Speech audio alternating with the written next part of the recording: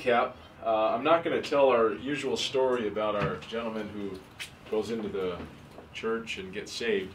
I'm just going to ask you guys some questions. And I was going to bring some little like prizes, candy things, but I was so late this morning. My goodness, everybody was in the bathroom. I couldn't get in. Uh, but that's the struggles of living with uh, a lot of people. So uh, I'm going to ask you guys some questions, and I just want to see if we remember. Uh, and even if you haven't been here the whole time, you can answer. Uh, so the topic is salvation, and I'm going to ask you questions regarding it. So uh, let's start with Josh in the back. Josh, what is salvation? Salvation What is it? If you were going to define it. is the act of the act of rescue. Okay. Relate it to the Bible. Related to the Bible? How does it How does it make sense in well, Bible? Jesus was sent for one purpose is to save humanity, to rescue us from our damnation, which is which is hell, and that's only that is that is the cause of our sin, which can only be paid off by the blood of Jesus. Hmm. Very thorough. Okay. Anybody disagree? Have a better explanation? No. We're all good. You're good with that. Yeah. All right. Cool. All right. So saving us from damnation. Well, that's true. You're going to hell without him. Uh, that's true. Yes. I don't know if this is like the same thing, but I guess I would say it's like renewal through Jesus. Salvation. Yeah. Oh yeah, there's a lot that certainly, yeah. Renewal, regeneration, to come alive, everything. My goodness, yeah, ton of stuff. Um, okay, let me ask you another question. Uh, let me ask this one to uh, Steve. All right, Steve, who can be saved? Who? The uh, sin. Sinners? Only sinners? Well, everyone can be saved. Everyone? All right. They believe in the name of Jesus Christ. Okay. Um, how about uh, uh, somebody like Hitler? Is uh, somebody that terrible? Can he be saved? Yeah. All right, David says yes. Um, hmm, who else? Like, uh, how about a pastor of the Church of Satan? Is there a possibility for him? Yes. So, huh? Because all sin are equal. Okay. So, who can be saved? And we believe everybody has the potential. That's a loaded word, of course. We'll learn about. Um, uh, can believing in the gospel really save somebody? Believing in the gospel, can that really save someone? Uh, let me just just to clarify the question. The salvation is saving you from God's wrath. You know, we've all sinned against God and we deserve to go to hell. Can believing in the gospel, the good news, can it really save you? Is that or is that enough? You know, I guess that's the question. Does that imply acting on what you believe in? Well, right, yeah. I, a true faith, true faith, uh, genuine belief will cause some kind of change in your actions. Absolutely. So yes. Then yes. Okay, great. Do we all agree with that? Okay.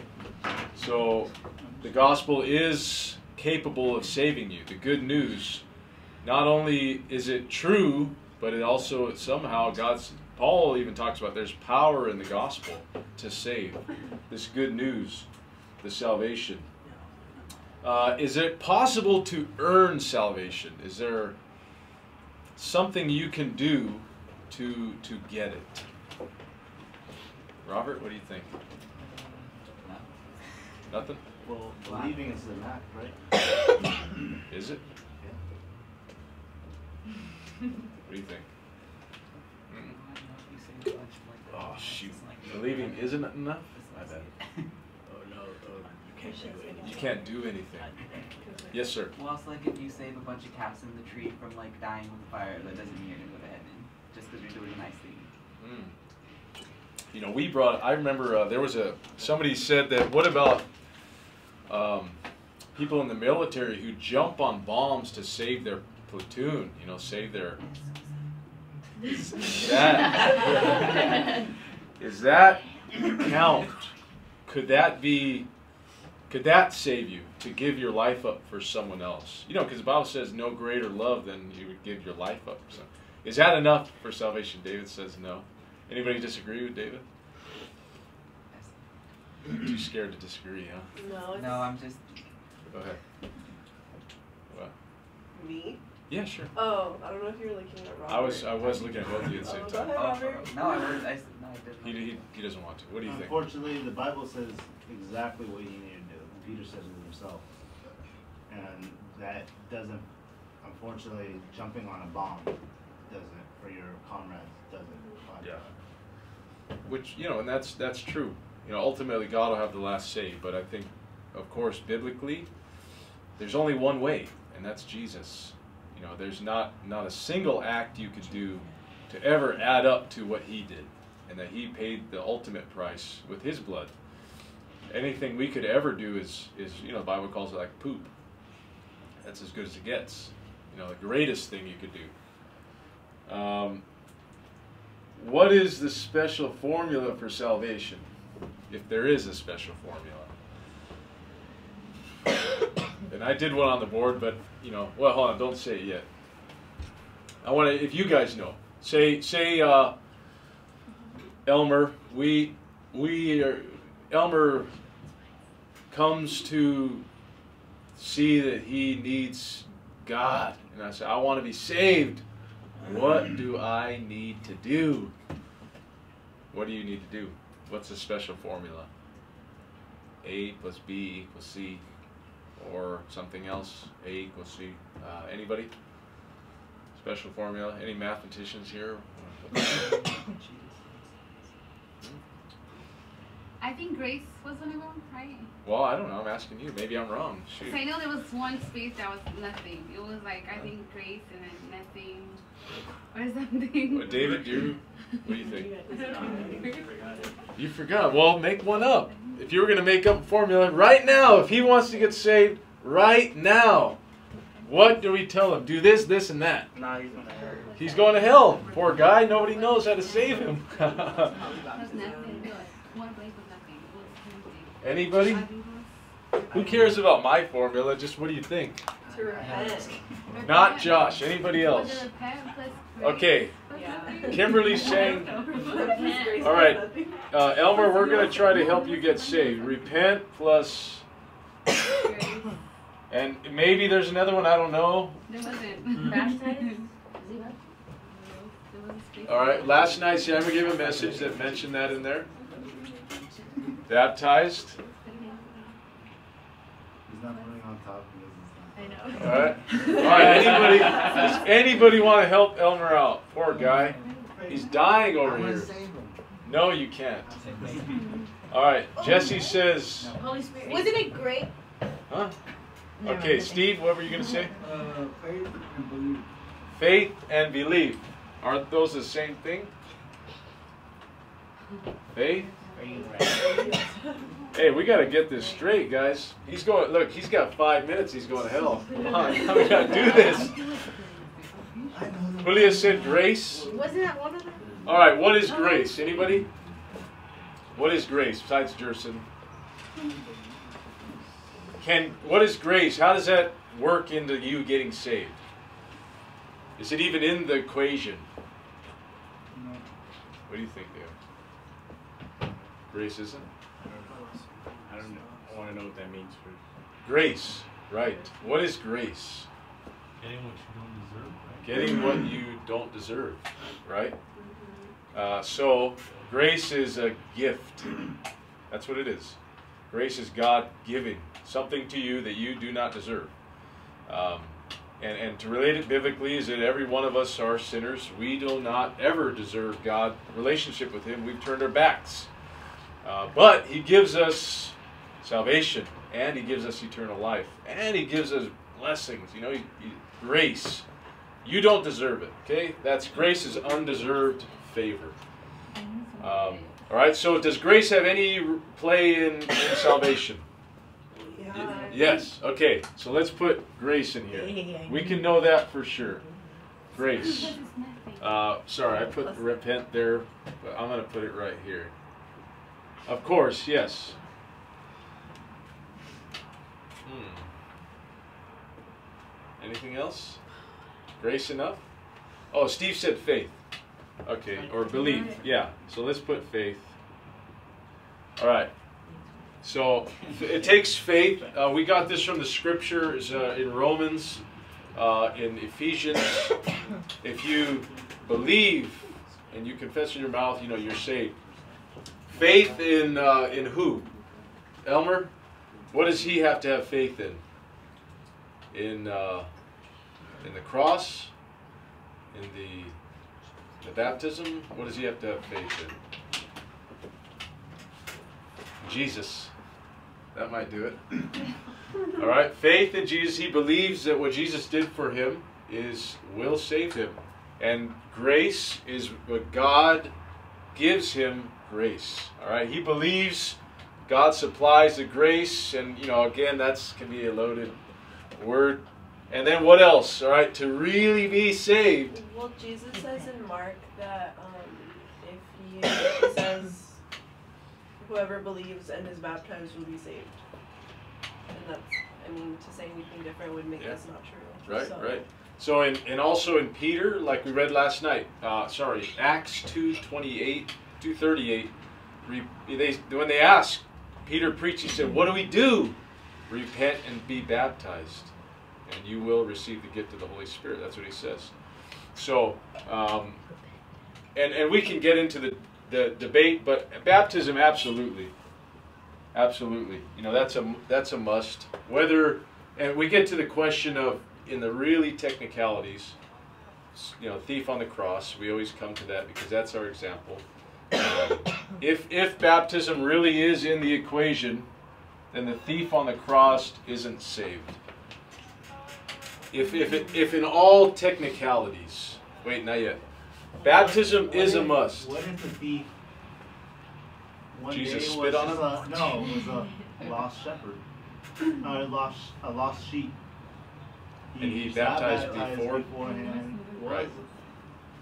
Who the heck knows? Hey, maybe. Who knows? So that that's why baptism i- is it, you cannot refute that in the Bible. You need to get baptized, and if you refuse it, I would I would wonder if your faith is genuine, because first of all, you're saying that I don't want to do what you say, Jesus. I want to follow you, but I don't want to do what you say. It's like that don't make any sense. Um, but not to spend too much time here. Uh, faith plus grace plus nothing equals you're saved. That's it. Is the nothing to for something? The nothing is you can't ever do anything to save yourself. God does it. You know, you the, the Bible's very clear. Baptism, of course, that or that happens after. That happens after. Um, this is this is the important thing. You can't you can't put all your hope in this to save you. This is something you do. That's that's a that's a work that you do. What your faith is in Jesus and God's goodness, you know, God's mercy on you. That saves you. And that prompts you to get baptized. That prompts you to become a new person, to stop sinning, you know, all of that. And, and you know, I'm not trying to say that repent and be baptized isn't biblical, of course. That's all in there. But we're just getting technical. We're getting technical. And what's really important. So absolutely you could put baptized in here. And I, what I used to tell everyone is that my, my, when growing up, my formula was um, faith plus baptism plus uh, no pork plus church on Saturday. All right, equals saved. That was mine. Because I thought I could do something to do to earn it. Let's do it. But you can't ever earn it. You can't. You can never put faith in anything you do. All of it has to be on Jesus. And that's what salvation means is that, you know, you take you're taking uh, a risk. You're putting all of yourself like if Jesus is a stool, you're putting all of your your weight on him. And you're not holding on to a thing, you know. There's no rope. You're just tight. Ugh, no. No, you're totally gone. You're totally giving it all to Him. So, yeah. So that's uh, took a little longer than I thought, but sorry. All right, so we're going to get into predestination. So in all of this salvation work, you believed, Elmer believed today, which you know I don't know if he did. God knows. Um, he isn't baptized, so if you die right now, you're probably not getting in. On the way, say he on the way to get baptized, he dies, car crash. Sorry, man. You know, I don't think so. I don't think that's how it works. Um, it's something happens inside, and and yes, you do get baptized, and way more than that. You start attending church. You do all these things absolutely because you're already saved. So, come on. Um, all right. So, can you be absolutely sure that you're saved? Is it possible? Is it possible to know for sure? Yes, I'm saved. I'm ugly, but I'm saved. You know, for some people, not Jerson, of course. All right. This, here's a verse. All right, just to just to prove it to you guys. Do not take my word for it. And this is the testimony that God gave us eternal life, and this life is in His Son. Whoever has the Son has life. Whoever does not have the Son of God does not have life. And the last one. I write these things to you who believe in the name of the Son of God, that you may know you have eternal life. So you can know. Julia could sit here today, broke, bald, cancer, whatever it could be. But she could know for certain she has eternal life, besides her circumstances, because she has the Son of God. She believes in Him. And she can know. And you can. And if you don't know, that's why we're doing this. So you can. All right, so today we're going to talk about predestination. I'm going to go over this brief so we can start fighting already. I'm just kidding. uh, that's from the time. Is it 10:30 already? All right. So last week we went over predestination in the Old Testament. Anybody remember anyone in the Old Testament where it seemed like God already, before they were even born, God already called them, or they didn't have anything to do with it, and God, God intervened and, and grabbed them. Um, Moses, Jeremiah was one of them. Jeremiah. We read a verse where in his womb it says God knew him. Um, any others? Abraham, right? We learned that he was the father of the faith, and he was just minding his business, you know, doing, following his dad with his brother, and God came up to him and said, um, "Hey, I'm calling you out. I want to bless you." It's like God chose him for, and we, you know, what we learned is there's no evidence prior to that of Abraham ever doing anything godly. You know, as far as we know, he was a pagan guy. Okay, Esther. I think that, that's what I like. You know, it says that Esther for such a time as this, you were, you know, put into this position that God had a, some plan. And one more is um, after the fall, just just to just keep in mind that predestination is after the fall. That pre, God's plan to redeem the world is is reasons why predestination is even in, in place because He's got this plan that's unfolding. And we ended last week talking about whether you are a part of it. Is it only for the top dogs like Paul and Peter? Or is it every believer that is planned and purposed? Is it you? Could you have that much? Can you have purpose like Paul? Absolutely. Do not question it. Okay? Ephesians, again, you rest your hope on the scripture, not on, all on your opinion. I've given my opinion up for the Bible. I, whatever God says, I'll trust you. Ephesians 2.10 or 2.9, it says that. That before the foundation of the world, he... Oh, man, I forgot it now. Look it up. Somewhere in there. All right. So the New Testament is predestination in the New Testament. And you can look at these verses. We won't get into them for time's sake, but the salvation of mankind was predestined. We read that last night in Samuel's uh, in the sermon. Ephesians Acts 2:23 is that God planned beforehand for Jesus to come forward. Peter was explaining the history from David and, and all of this and how Jesus um, was it was it was prophesied for him to come, and Jesus fulfilled the prophecy, and that's what Peter is saying. You can again, you can look it up. The salvation of man was predestined. This was all part of God's plan.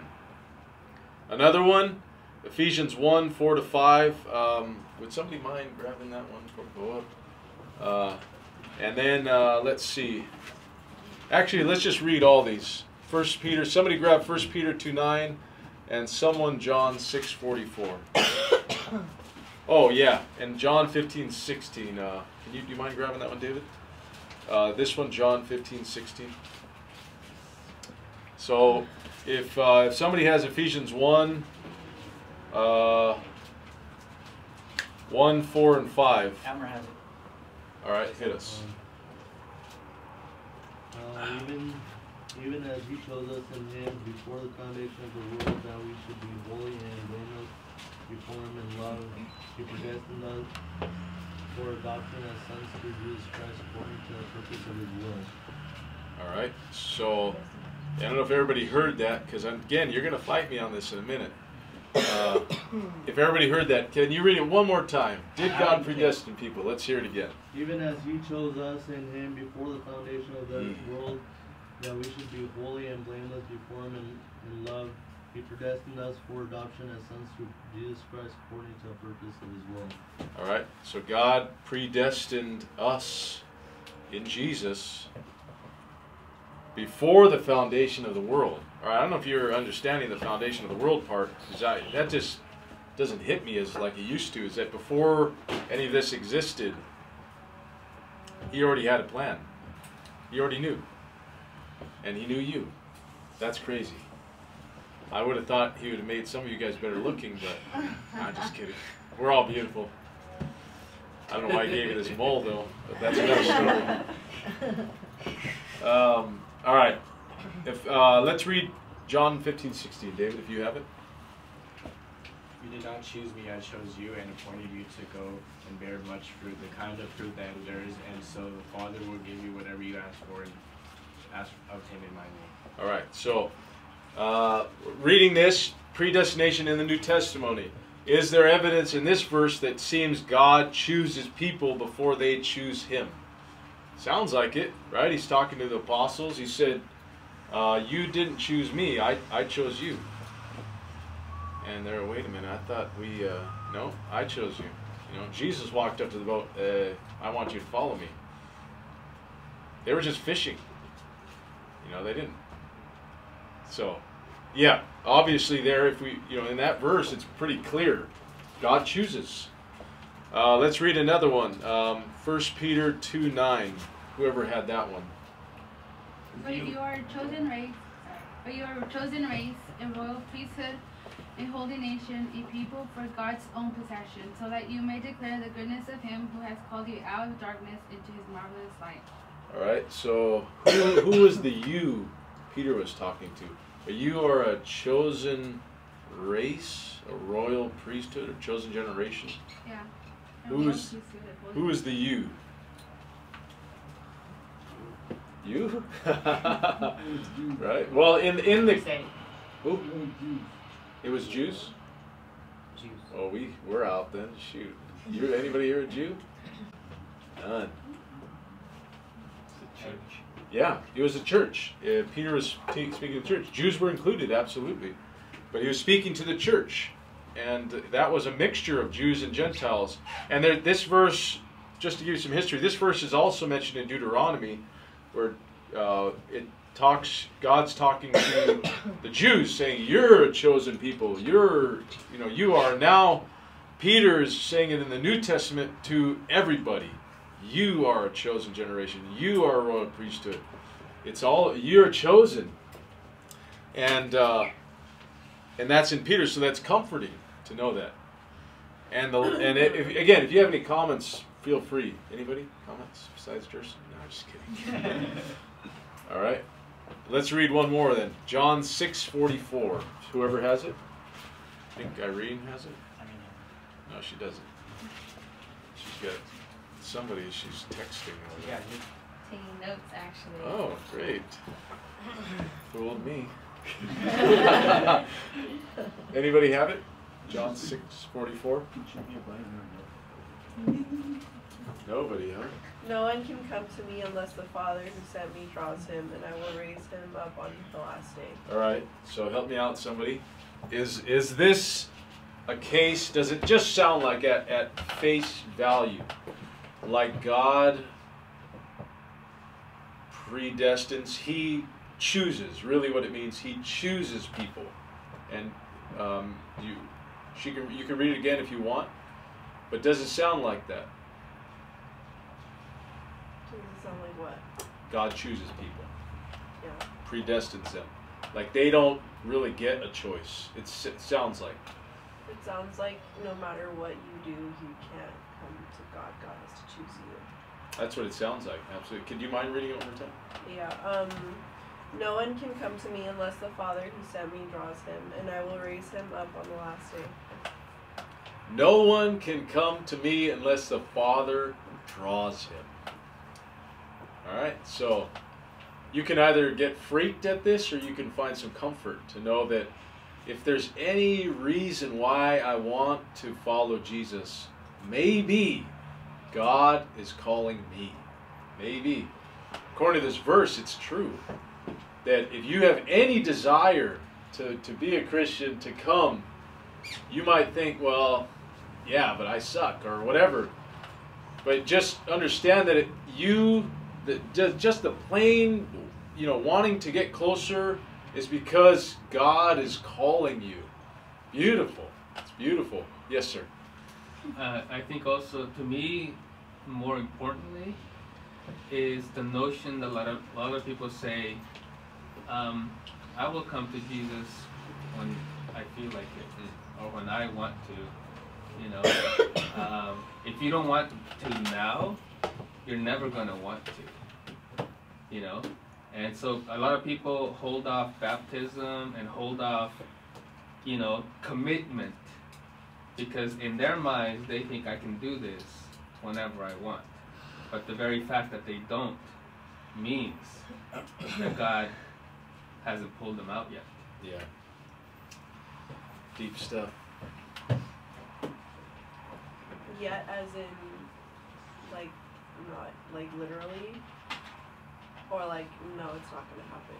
No, because we we don't know, We have no idea. right? But like, there's so many people people presume that they can just come whenever they want to, and not realizing that they will never come unless.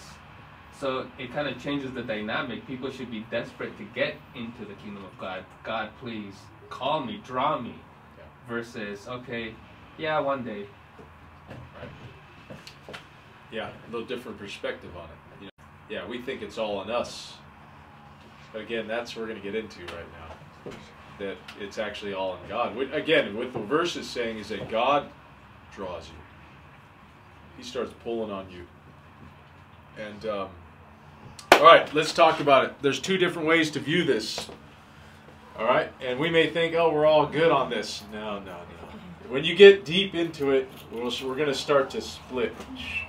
But just just a disclaimer that this um, I don't if you I don't know if anybody ever heard of this Calvinism and Arminianism. Anybody not heard of it? Jasmine, heard of it? Well, Armenian isn't that like a race? Hmm. It's not the race what we're talking about, but you're right. You're right. Then no, I haven't. Okay, it is a race, but no, this is different. Uh, anybody? You heard of it before? Didn't we do like a class on it a long time ago? We did, yeah. Yeah. All right, so today, uh, I it's I'm just I'm gonna it's it's a deep one. It's hard to really just blow over it. So we're gonna start it, and again, if you guys want more, we're gonna go into it more. But there's two ways to view this predestination. We again, we may all think, yeah, it's very clear. When you get into it deep, there's some questions that arise. And that's where we start to split. There is split even now. You may not even know it just in this room. I'm not going to point them out, but um, that's what I was going to say. Christians debate on this. You can be a Christian and have either side. It doesn't make you not a Christian. It just there's different views biblically. All right, so there's two thoughts. Calvinist. This is named after a guy named John Calvin. He was around during Martin Luther. They did the revolution. You know, they were both Reformation. Reformation. Sorry, they were both a part of it. Yeah, and uh, and it was about the rebellion. 16, 13 something. 15. 15s. All right. So he started teaching this, and later on, after you know he died, they coined this belief on called it Calvinism. And then after he died, there was a guy who was born, and he actually went to John Calvin's training school, and he came up with a different way of viewing predestination. Is that uh, which we're going to get into? And his name was what was his name? John John Arminius. Arminius. John's amazing. Uh, and uh, so these two thoughts have continued to move forward. Um, so here's a breakdown, just so you guys are aware. There's a breakdown. The Calvinist, first, is a system, it, it adheres to a very high view of Scripture. Everything um, is based on the Scripture. All right, if the Scripture doesn't say it, no, we, they really take the Scripture, um, a high view of it, and it's all very theological. Uh, it focuses on God's sovereignty. And if you don't know what sovereignty means, that means God's in total control. Nothing is out of his control. Everything, salvation even, is in his control. Um, and here's a breakdown of some of the points. There's actually five. I put four here just for um, uh, just to be brief. Uh, that God, by His sovereign grace, predestines people into salvation. Okay, so because of His grace, before the world was created, He predestines who's going to be saved. He predestines people into salvation. All right, that's this view. Jesus died only for those who are predestined. All right, only for the people that God predestined, He died for them. You know, the, the, the atonement doesn't cover everybody, it covers the ones He died for, which is the ones He predestined. And catch me if I'm falling off anywhere. Uh, God regenerates the individual where He is then able to and wants to choose God. So God regenerates people. Everybody, and it gets deeper. People are dead in their sins, but God has to pull them out and give them, uh, give them the ability to believe and want to choose God. And the last one, it's impossible for those who are redeemed to lose their salvation. Okay, so for a Calvinist person in the belief, you cannot lose your salvation. You're totally secure in God. And God saved you. And then we have the Arminian. Okay? And again, if I'm missing anything, just pop in. Arminianism, on the other hand, maintains that God predestined, but not in an absolute sense. He looked, this is what it means. You remember the verse in uh, Romans 8.28 said, For whom he foreknew, he predestined. Again, we read it last night in church. Whom he foreknew, he predestined, and whom he predestined, he called, or something of that. So it says that God that God predestined not in an absolute sense. Rather, he looked into the future to see who would pick him, and then he chose them.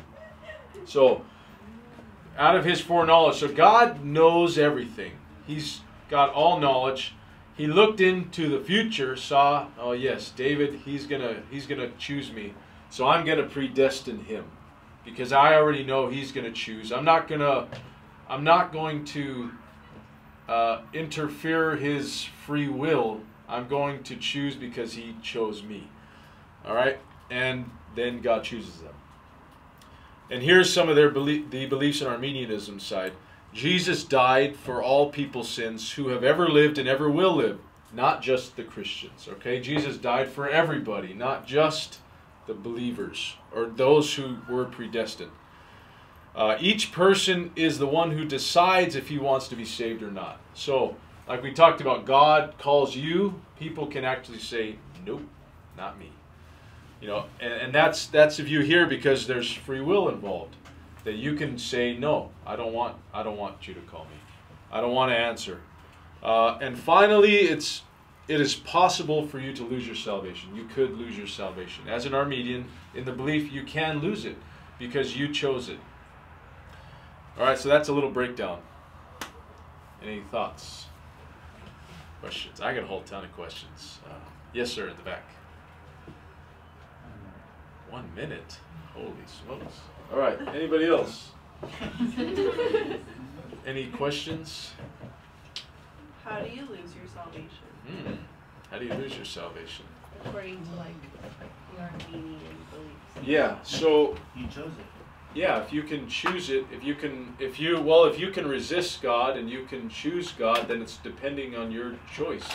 You can, you can go so far to to lose it because it depends on you. There's a part that depends on you. Um, and that's faith. What if you give up your faith? You're gone. You know? And and really, what I think the Calvinists would say is you have to rephrase it. Can you lose your salvation? But the Calvinists would say, can can Jesus lose you? And that's really what it what it comes down to. If you belong to Him, that means Jesus loses you, rather than you lose Him. So, yeah, again, there's two different, there's two sides on it, and I'm not going to try to convince everyone. I'd love to, but I'm not going to try to convince everyone here today, because you have to, you have to take your own stance on it, and it takes some study the scriptures. Um, but as you can see already, we're kind of running out of time to get into it. But uh, let me, I want to, I want to show you a video. It's like two or three minutes. Now we're gonna go because, uh, and again. Uh, do you, if you guys, do you guys want to touch on it next week, or are you guys already over it? touch a little bit on it. I do. All right. Uh, I'm going to show you a video. Um, oh man, this isn't working. it's supposed to work. Oh, I like Wretched. It's cool. Um, Wretched.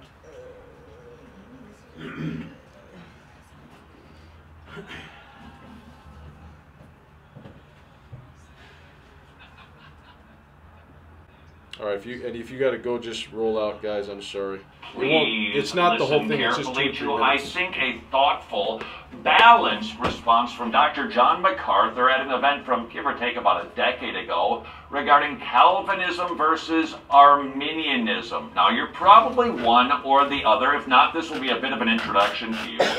Might I ask both camps, both sides, to at least consider what Dr. John MacArthur is setting forth? Uh, let me do it this way. Okay, I'm gonna, I'm gonna give you a little test. Okay. Um, do you believe that God is sovereign in salvation? Of course, we went through that today. Do you believe God chooses who will be saved? Of course. Do you believe the Father draws? Yes. Do you believe that the, the Son keeps? Yes. Do you believe the Son raised? Yeah. It's all sovereign. It's all predestined. It's all established. Absolutely right. This is what the Bible says. Uh, do you believe that um, whosoever will may come? Yes. This is what the Bible says. Um, do you believe that God finds no pleasure in the death and judgment of the wicked? Yes. Uh, do you believe that uh, Jesus wept because sinners wouldn't repent? Of course. Uh, you, are you willing to call all sinners to repent? And do you believe they're responsible if they don't come? Yes. Well, how, how, how do you harmonize that? I don't know. I don't know how to harmonize that. Well, you're expecting, you're asking too much of me. I'm not God. You want my little peanut pea pusillanimous brain to grasp that? Give me a break. It's not my problem. But the, the one thing I can't do is, is deny what Scripture says. Uh, this will comfort you. Who wrote Romans? They said This is basic. I couldn't hear it. Christianity 101 here. Who wrote Romans? Can't answer the question, can you? Why? All of Paul? All his vocabulary? All his heart? All his thoughts? All his words? All of God? And yet not mechanical?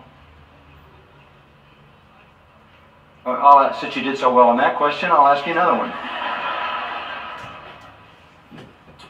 Um, who lives your Christian life? God?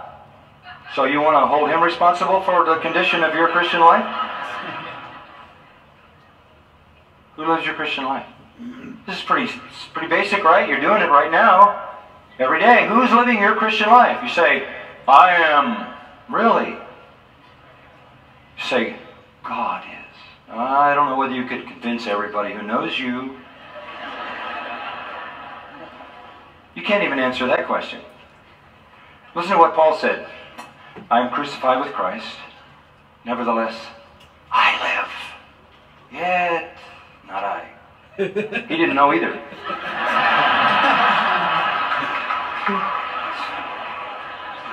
He said, This is the divine mystery. And it's all of me and all of him, and what's wrong is me and what's right is him.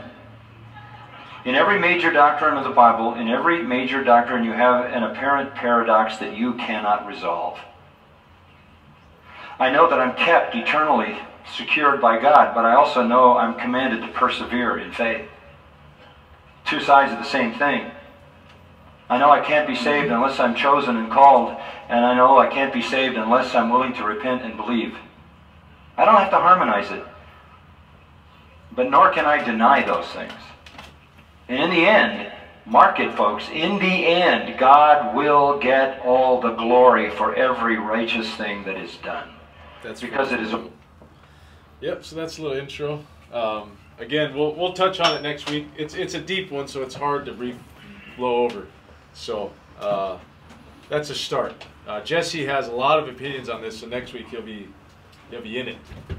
So we'll start we'll start earlier. We'll get on it. But let's pray today today that you're not all confused. That God helps you. Uh, so let's pray.